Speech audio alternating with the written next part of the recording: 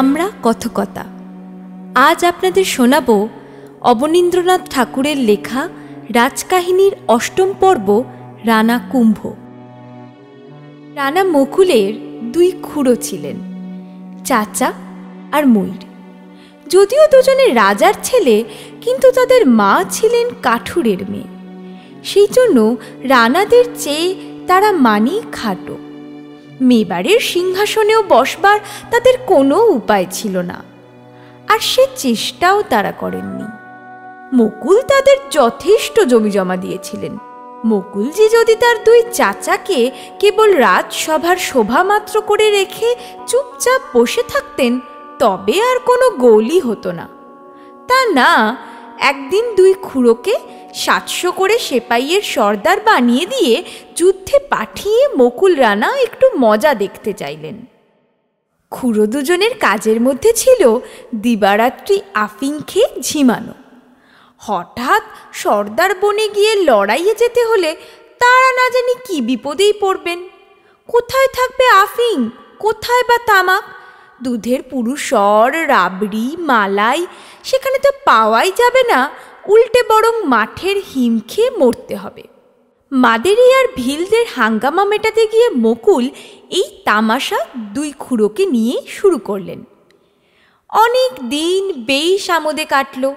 তামাশার সঙ্গে সাতশো সেপাইয়ের সর্দারে মাসোহারা যতক্ষণ আছে, ততক্ষণ ভাইপোটিকে আমোদ দিতে দুই খুঁড়োর আপত্তি হলো না। কিন্তু ঠাট্টা তামাশা ক্রমেই একটু কড়া রকম হতে লাগল।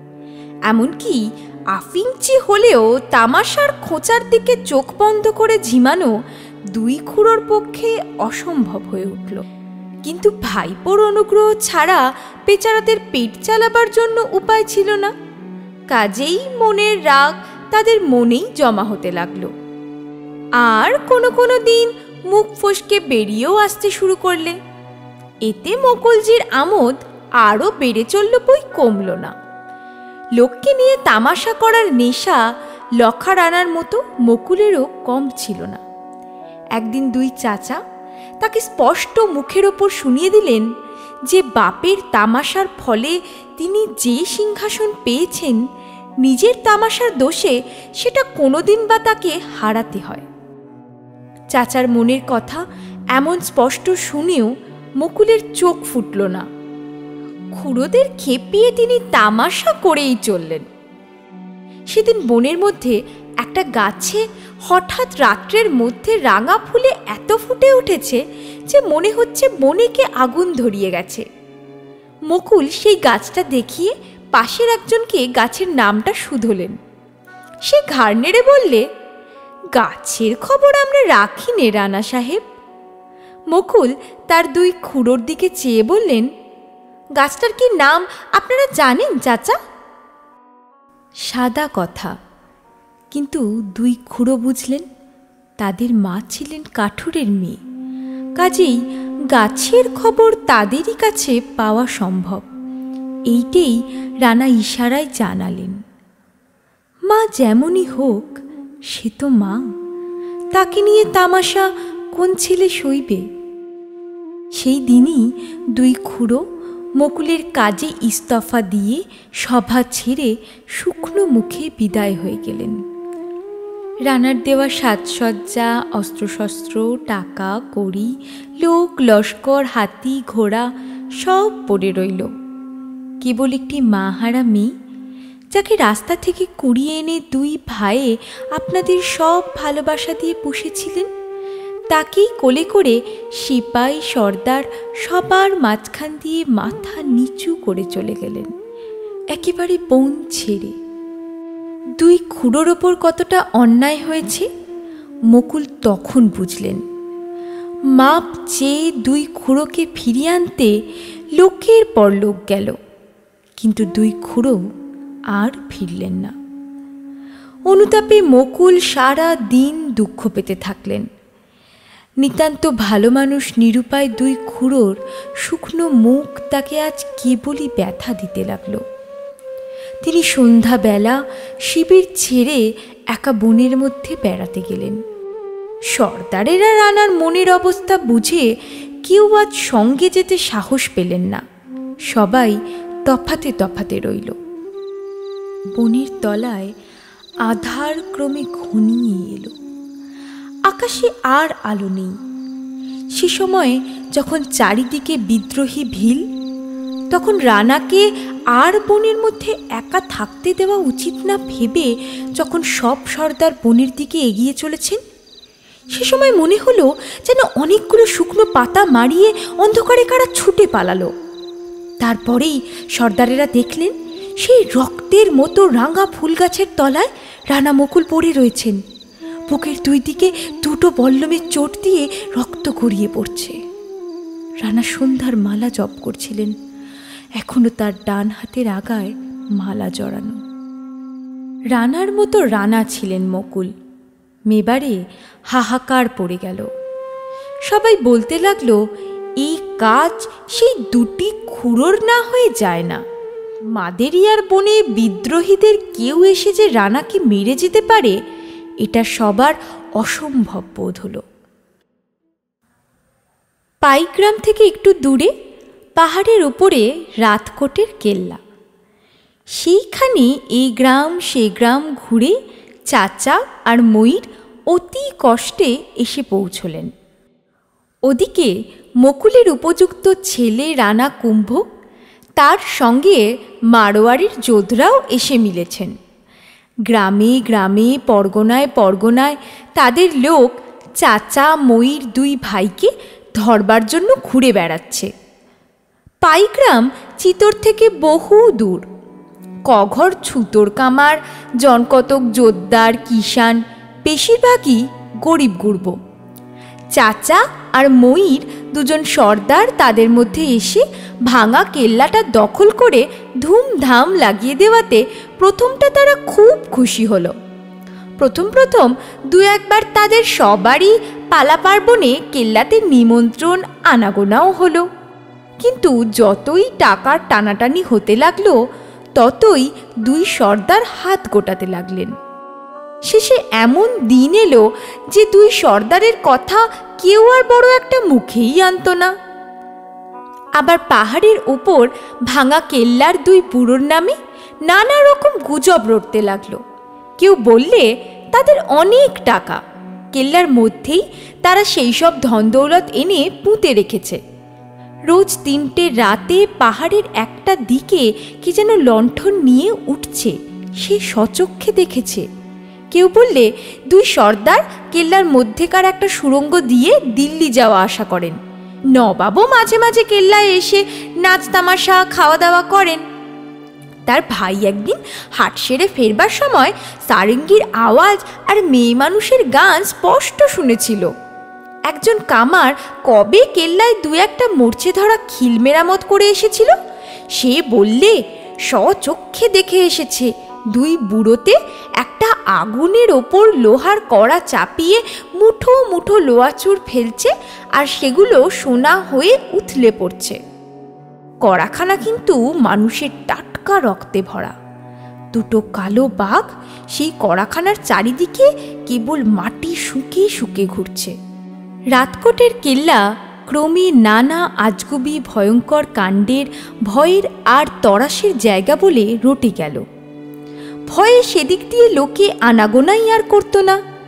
দিনে দুপুরে যেন তারা বাঘের গর্জন শুনতে থাকল। আর সন্ধ্যার সময় দেখতে লাগল যেন কারা ঘোড়ার পিঠে থলে বোঝাই টাকা নিয়ে চলেছে। ঝম ঝম। দুই সর্দার, মাসে তো মাসে একবার হাটে নেমে আসতেন। কাপড় চোপড় আটা, গম একটা খোঁড়া ঘোড়ার পিঠে বোঝাই দিয়ে আবার পাহাড়ের ওপর কেল্লায় উঠে যেতেন। কিন্তু এই ঘটনা নিয়ে সারা গ্রাম হপ্তা খানিক ধরে সরগরম থাকত। সে নানা কথা। আটাওয়ালা দুই বুড়োকে আটা বেচে টাকার বদলে মোহর পেয়েছে। ঘি দশের তার দাম কতই বা? বুড়োদের ঘি বেচার পরদিনই গোয়ালার স্ত্রীর গলায় হঠাৎ রূপোর হাসুলিটা দেখা যায় কেন? আর সেই কাপড়ের মহাজন? তার দোকান থেকে দুটো বুড়ো কেন যে এত শাড়ি কেনে সেটা প্রকাশ হয়েও হচ্ছে না। সে কেবল মহাজনটা রীতিমতো কিছু মেরেছে বলে। এদিকে গ্রামের ঘরে ঘরে এই চর্চা, ওদিকে পাহাড়ের উপরে দুই বুড়োতে, সেই পুরনো মেয়েকে তাদের সব ভালোবাসা দিয়ে আদর যত্নে মানুষ করছে। মেয়েটি তাদের প্রাণ। সেই ভাঙা কেল্লা, সেই মেয়ের হাসিতে তার কচি গলার মিষ্টি কথায় পাপিয়ার মতো তার গানের সুরে দিন রাত ভরে রয়েছে। তার হাতে লাগানো ফুলের লতা ভাঙা দেওয়াল বেয়ে উঠে সকাল সন্ধ্যায় ফুল ফোটাচ্ছে। গন্ধ ছড়াচ্ছে রাজার ভয়ে দেশ ছাড়া এই দুটো বুড়োর জন্যে। একলা কেল্লায় এই তিনটি প্রাণী, আর আছে একটি পাহাড়ি কুকুর। দেখতে যেন বাঘ। সেই কুকুরই চাকর, দারোয়ান শান্ত্রী পাহারা। অজানা লোক যে হঠাৎ কেল্লায় ঢুকবে তার জো নেই শঙ্খচিল যেমন পাহাড়ের চূড়ায় বাসা বেঁধে বাচ্চা নিয়ে থাকে, তেমনি সাদা চুল দুই বুড়োতে সেই অগম্য পুরীতে আদরের মেয়েকে নিয়েই রয়েছেন অনেক দিন ধরে। এমন সময় একদিন পাইগ্রামের দফাদারের সুন্দরী মেয়েটি হারালো। নদীতে ডুবে সে মরল, কি বাঘে তাকে ধরলে কিছুই ঠিক হলো না। কিন্তু সবাই ঠিক করলে যে ওই বুড়ো সর্দার দুটো সুন্দরী দেখেই মেয়েটিকে চুরি করেছে। মেয়ের বাপ পাগলের মতো হয়ে কাজকর্ম ছেড়ে দিন রাত রাতকোটের কেল্লার পাশাপাশি ঘুরতে লাগল। তার নিশ্চয় বিশ্বাস সুন্দরিয়া তার ওই কেল্লাতেই আছে। কেননা একদিন সকালে সত্যিই সে একটা মেয়েকে এলো চুলে পাহাড়ের পাকদণ্ডি বেয়ে বেড়াতে দেখেছে। খুব দূর থেকে যদিও, কিন্তু সে তারই মেয়ে, তাতে কোনো সন্দেহ নেই। দফাদারকে সবাই পরামর্শ দিলে, যাও, রানা কুম্ভের কাছে নালিশ করো গিয়ে। তোমার মেয়েটি যে ভয়ানক লোকদের হাতে পড়েছে, কুম্ভ ছাড়া কারও সাধ্যি নেই তাকে ছাড়িয়ে আনে। বুড়ো দফাদার চলল। মূর্ছে ধরা তলোয়ার কোমরে বেঁধে তার নিজের চেয়ে একটু বড় তার নিজের চেয়ে একটু বুড়ো এক ঘোড়ার পিঠে সওয়ার হয়ে একলা চিতরের দিকে চলল সে। রাতকোট থেকে চিতর কতদিনের পথ, তা কে জানে? দফাদার কিন্তু চলেছে। মেয়ের শোকে পাগলের মতো চলেছে। আর ফিরে ফিরে রাতকোটের কেল্লার দিকে তলোয়ার উঁচিয়ে গালাগালি বাড়ছে। এমন সময় পথের মধ্যে তিন ঘোর শহরের সঙ্গে দেখা। কথায় কথায় দফাদারের মুখে মেয়ে চুরির খবর শুনে তিনজনেই বললে, চলো দফাদার সাহেব, এর জন্য আর রানার কাছে যেতে হবে না। আমরাই তোমার মেয়েকে উদ্ধার করে সেই বুড়োর দফা রফা করে আসছি। চলো। শুনে দফাদার ঘাড় নেড়ে বললে, জানো না সেই দুই বুড়োকে? তাই এমন কথা বলছো। মানুষের অগম্য স্থানে থাকে তারা। যদি কেউ সে কেল্লা মারাতে পারে, তা রানা কুম্ভ। পাহাড় বেয়ে সেখানে উঠতে হবে রাস্তা নেই। বনে, জঙ্গলে দিনে বাঘ হাঁকার দিয়ে ফেরে। কেউ সেখানে যেতে পারে না, আর গেলেও ফিরতে পারে না। এমনই ভয়ানক পাহাড়ের চূড়োয় রাতকোটের কেল্লা। আর তারই মধ্যে রাক্ষসের চেয়েও ভয়ানক দুই বুড়ো বসে। বলেই হাউ মাউ করে মেয়ের জন্য কাঁদতে লাগল। সেই তিন সেপাইয়ের মধ্যে সব ছোট যে সেপাই সে বললে, ভয় নেই, আমরা ঠিক সেখানে যাব, চলে এসো। ছোট সেপাইয়ের কথা শুনে দফাদার একটু চটে বললে, আমার কথায় বিশ্বাস হলো না? আমি বলছি, সেখানে যাবার রাস্তা নেই। ছোট সেপাই আর কেউ নয়, রানা কুম্ভ নিজে। চাচা আর ময়ূরকে সন্ধান করে শাস্তি দিতে চলেছেন। দফাদারের কথায় রানা হেসে বললেন কেউ যদি কেল্লায় উঠতেই পারে না, তবে বুড়ো দুটো তোমার মেয়েকে নিয়ে সেখানে গেল কোথা দিয়ে? রাস্তা নিশ্চয়ই আছে। দফাদার আরও রেগে বলছে, ওহে ছোকরা, রাস্তা থাকলে আমি কি সেখানে না উঠে এদিকে আসি?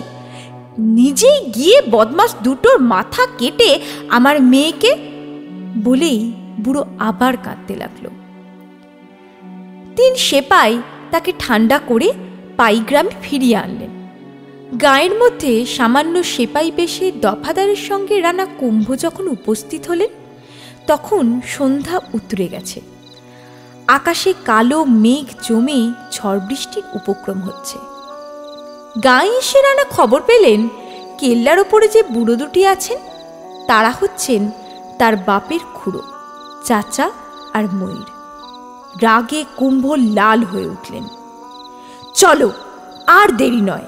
এখনই সেই দুটো পাপাত্তার উচিত শাস্তি দেব। রানা কেল্লার মুখে ঘোড়া ছোটালেন। দেখে সঙ্গে দুটো সেপাইও চলল পিছনে।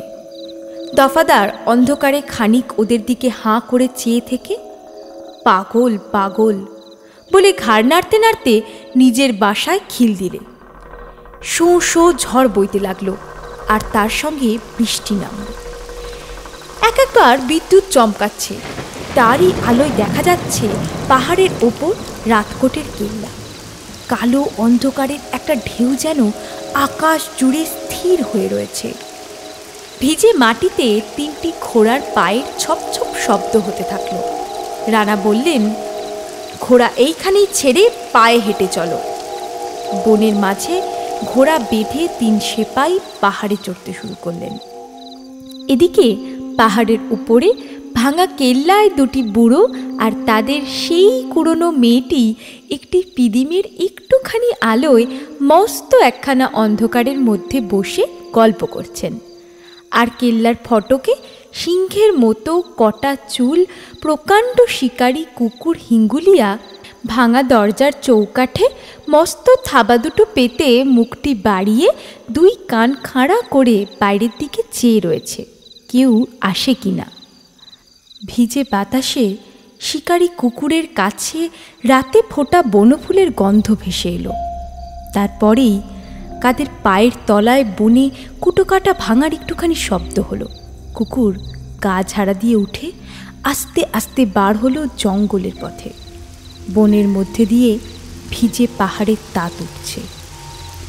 অন্ধকারে দু চারটে জোনাকি পোকা লণ্ঠন জ্বালিয়ে কি যেন খুঁজে বেড়াচ্ছে। কুকুর পাহাড়ের পাকদণ্ডির ধারে চুপটি করে গিয়ে দাঁড়াল। রাতের বেলায় অচেনা কাদের পায়ের শব্দ শুনে শিকারী কুকুরের চোখ দুটো জ্বলছে। কুকুর সজাগ হয়ে বসে আছে। কিন্তু যারা পাহাড়ে উঠছে, তারাও কম সজাগ নেই। পাকা শিকারী, পাকা যোদ্ধা রানা কুম্ভ তার চরণ আর মারোয়ারের যোধরাও। জানুয়ারির চোখ জ্বলছে কোন ঝোপের আড়ালে। সেটা এরা জোনাকির আলো বলে ভুল করলে না। রানার হাতের ছুরি সাঁ করে গিয়ে বিঁধল। হিঙ্গুলিয়ার বিশ্বাসী প্রাণটি ধুকধুক করছে ঠিক যেখানে। শিকারীর হাতের ছুরিতে কিল্লার একটি মাত্র রক্ষক, দুটি বুড়ো, একটি কচি মেয়ের একমাত্র বন্ধু আর বিপদের সহায় সেই সিংহের মতো হিঙ্গুলিয়া মরল। একটি বার কাতর স্বরে ডাক দিয়ে সে যেন বলে গেল, সাবধান। ঝড়ের বাতাসে সেই শেষ ডাক ছেড়ে দিয়ে কুকুর স্তব্ধ হলো। রানার বড় স্ফূর্তি হয়েছিল যে তিনি কেল্লা নেবার মুখেই একটা মস্ত সিংহ শিকার করলেন। সঙ্গীরাও বললেন, রানা, এ বড় সুলক্ষণ। কিন্তু সেই ডাক যখন অন্ধকার চিরে পাহাড়ের চূড়োয় কেল্লার দিকে একটা কান্নার মতো ছুটে গেল, তখন সবার মুখ চুন হয়ে গেল। দেখলেন একটা কুকুর পড়ে আছে। তিনজন আস্তে আস্তে আবার চললেন। মনে কারু আর তেমন উৎসাহ রইল না। ওদিকে সেই আধার ঘরের একটি পিদিম বাতাসে নিবু নিবু করছে। তাকেই ঘিরে তিনটি প্রাণী। বুড়ো চাচা গল্প বলছেন, তার ছোট ভাই আর এক বুড়ো ছেঁড়া কাঁথায় বসে ঝিমোচ্ছেন। আর একটি মেয়ে অবাক হয়ে শুনছে, আমরা দুই ভাই তখন খুব ছোট, আমি চলতে শিখেছি, আর ও তখন মায়ের কোলে কোলেই ফেরে। মা আমার হাত ধরে চললেন, এতটুকু ওকে বুকে করে। গায়ে সবাই বলতে লাগল, তুই কাঠুরের মেয়ে কবে রানা ক্ষেত সিং তোকে বিয়ে করেছেন তা কি তার মনে আছে? মিছে চিতর যাওয়া। মা ঘাড় নাড়ালেন। তারপর আমরা ঘর ছেড়ে বার হলেন। আমাদের সেই ছোট ঘরখানি, সেই সবুজ মাঠের ধারে মস্ত তেঁতুলতলার দিকে চেয়ে আমার মনটা কেমন কেমন করতে থাকল। আমি কেবলই ঘরের দিকে ফিরে চলতে চাইলেম মা কিন্তু আর সেদিকেও চাইলেন না। সোজা চললেন, আকাশ যেখানে মাটিতে এসে মিলেছে, বরাবর সেই দিকেই চেয়ে। সন্ধ্যা হলে পথের ধারে, কোনোদিন গাছতলায়, কোনোদিন খোলা মাঠে মা আমাদের নিয়ে রাত কাটান। সকালে আবার চলতে আরম্ভ করেন। দুপুরে কোনো দিন কোনো গায়ে আসি, সেখানে যা ভিক্ষা পাই তাই খাই। কোনো দিন কিছু পাইও না, খাইও না। এইভাবে মা আমাদের চলেছেন। চিতরের রানার দুঃখিনী, কাঠকুড়নি রানী। কত কাল পথে পথে কাটল, তার ঠিক নেই। সারা বর্ষা চলে গেল। ভিজতে ভিজতে, পথ চলতে চলতে শীত এলো। মাঠের দুরন্ত বাতাস রাতের বেলায় গায়ে যেন বরফ ঢেলে দিতে লাগল। ছেঁড়া কাঁথায় আমাদের জড়িয়ে নিয়ে মা সারা রাত কাঁদতেন আর জাগতেন। আমাদের দুঃখিনী মা, রানী মা। আমি এক একদিন বলতেম মা, ঘরে চলো। মা বলতেন, আর একটু গেলেই ঘর পাবো। আমি সামনের দিকে চেয়ে দেখতেম, দূরে কেবল একটা ঝাপসা পাহাড়ের ঠান্ডা নীল ঢেউ। মা সেই নীলের দিকে চেয়ে চলতেন, আর এক একবার তার চোখ দিয়ে ঝরঝর করে জল পড়ত। এমনই সে কত দিন, কত দূরে চলে একদিন আকাশে আজকেরই পথের ধারে চুপটি করে ঘুমিয়েছিলেন। আমি তাকে জাগিয়ে দিয়ে বললেম, মা, চেয়ে দেখো, পাহাড়ের ওপর কত বড় বাড়ি। মা একবার চোখ মেলে দেখে বললেন, ওই আমার ঘর। খানিক পরে আস্তে আস্তে আমায় বুকের কাছে টেনে নিয়ে একটি সোনার হার আমার গলায় ঝুলিয়ে দিয়ে বললেন রানাকে এইটি দেখাস, তিনি তোদের ঘরে ডেকে নেবেন। বুড়ো চাচার চোখে জল ভরে উঠল। মেয়েটি বললে, তারপর? কি হলো? কারও মুখে কথা নেই। অনেকক্ষণ পরে চাচা উত্তর দিলেন, তারপর আর কি? রাজার রাজা যিনি, তিনি আমার দক্ষিণী মাকে ডেকে নিলেন নিজের ঘরে। আর তোমাদের? মেয়েটি শুধালো। চাচা আসতে বললেন, আমরা গেলাম রানার সঙ্গে দেখা করতে। সেখানে কত কাল কাটালেম, সুখে দুঃখে দুই ভাই একলা। অত বড় রাজবাড়ি, সেখানে মাকে কোথায় খুঁজে পাব? দুজনে একলা থাকি আর মায়ের জন্য কাঁদি। মেয়েটি ভারী ব্যস্ত হয়ে শুধলে রান্নার ঘরে মাকে পেলে না? চাচা ঘাড় নাড়লেন। না, কোথায় যে গেলেন মা, তা কেমন করে জানব? সে অনেকদিন পরে দুই ভাই যখন বুড়ো হয়েছি, তখন একদিন সকালে উঠে রাজসভায় যাব এমন সময় দেখলেম, পথের ধারে মা আমাদের এতটুকু একটি কচি মেয়ে হয়ে একলাটি দাঁড়িয়ে ঘরে যাব বলে কাঁদছেন। আমরা সেই অনেক দিনের হারানো মাকে ফিরে পেয়ে কোলে করে একেবারে ঘোড়া হাঁকিয়ে এই পাহাড়ে এসে উপস্থিত হলেন। মেয়েটি শুধলে, রানা, আবার কাঠকুরানি রানীকে কেড়ে নিতে চলে এলেন না? চাচা ময়ূর দুজনেই বলে উঠলেন, খুঁজে পেলে তো রানা। আমরা এমন জায়গায় মাকে লুকিয়ে রেখেছি, রানার সাধ্যি কি সেখান থেকে মাকে খুঁজে বার করেন? গল্প শুনতে শুনতে মেয়েটির চোখ ঘুমিয়ে পড়ছিল। সে চাচার কোলে মাথা রেখে বললে আমাকে একদিন তোমাদের মাকে দেখাবে। চাচা আস্তে মেয়েটির চুলে হাত বুলিয়ে বললেন, আর একটু বড় হও। তারপরে সেই নিরালা ঘরে একটা পিদিম জ্বালিয়ে মা যেখানটিতে একলা বসে আছেন, সেখানে আমরা সবাই মিলে চুপি চুপি চলে যাব। মেয়েটি ঘুমের ঘরে দরজার দিকে চেয়ে বললে, হিঙ্গুলিয়া? চাচার ভাই আফিমের ঝোঁক মাথা দুলিয়ে বললেন হ্যাঁ হ্যাঁ সেটাকেও সঙ্গে নিতে হবে। যারা গল্প বলছিল আর শুনছিল, সবাই আস্তে আস্তে ঘুমিয়ে পড়ল। জেগে রইল কেবল একটি পিদিমের আলো।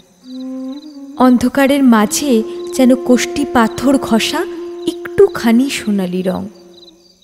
কোন সময়ে ঝড় বাতাস বন্ধ হয়ে গেছে, কেউ জানে না। কখন রানাকুম্ভ তলোয়ার খুলে ঘরে ঢুকেছেন। হঠাৎ একটা মেঘ গর্জনের সঙ্গে করকর করে পাঁচ পড়ল। তিনজনেই চমকে উঠে দেখলেন তিনখানা খোলা তলোয়ার মাথার ওপর ঝকঝক করছে। রানা কুম্ভ ডাকলেন, ওঠো। দুই বুড়োতে উঠে দাঁড়ালেন মেয়েটির হাত ধরে। কুম্ভ গম্ভীর হয়ে বললেন, রানাকে খুন করেছ? রাজপুতের মেয়েকে চুরি করে পালিয়ে এসেছ? এর শাস্তি আজ তোমাদের নিতে হবে। চাচা অবাক হয়ে বললেন রানাকে মুইর আস্তে আস্তে বললেন মুকুলজিকে কুম্ভ বললেন হ্যাঁ তারই খুনের শাস্তি এই নাও। দুখানা তলোয়ার একই সঙ্গে দুই বুড়োর মাথায় পড়ল। মেয়েটি, মা! বলে একবার ডেকে অজ্ঞান হলো। ঝড়ের বাতাস কোথা থেকে হঠাৎ এসে ঘরের পিদিম নিবিয়ে দিল। কুম্ভ জানলেন, তার বাপের খুনের শাস্তি দিলেন।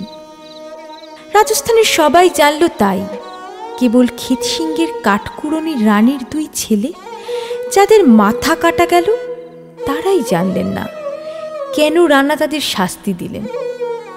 আর সেই মেয়েটি জানলে না দফাদারের ঘরে রাতারাতি কারাই বা তাকে রেখে গেল। আর কেনই বা সকলে গাঁয়ের লোকে তাকে ঘিরে বলা বলি করলে, এ তো নয় সে তো নয়। এমনই নানা কথা কয়ে সবাই মিলে সন্ধে বেলায় গায়ের বাইরে মাঠের ধারে কেন যে তাকে একা বসিয়ে দিয়ে সবাই যে যার ঘরে চলে গেল, আর কেনই বা সারা রাত চাচা হিঙ্গুলিয়া হিঙ্গুলিয়া বলে কিদে ডাকলেও কেউ সারা শব্দ দিলে না।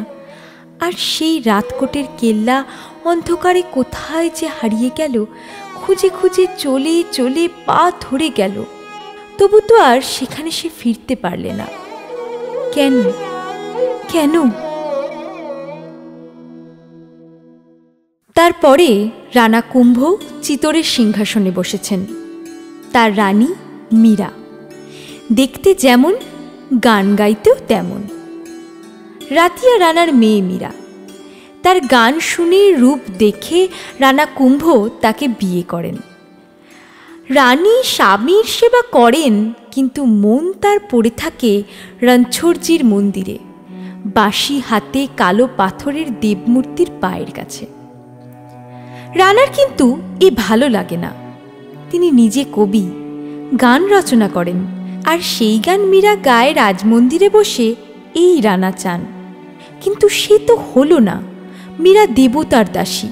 তিনি রণছোড়জির মন্দিরেই বসে সারা দিন মান ভক্তদের মধ্যে গান গাইতে লাগলেন। মীরা কহে বিনা প্রেম সে না মিলে নন্দ লালা। চিতরেশ্বরী মীরা সবার মাঝে গান গাইবে একতারা বাজি? এটা ভারী লজ্জার কথা হয়ে উঠল। রানা হুকুম দিলেন, মন্দিরের বাইরে লোক আসা বন্ধ করো।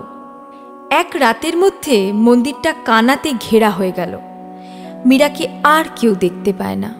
কিন্তু গানের সুর শুনতে কানাতের বাইরে দেশ বিদেশের লোক জড়ো হয়।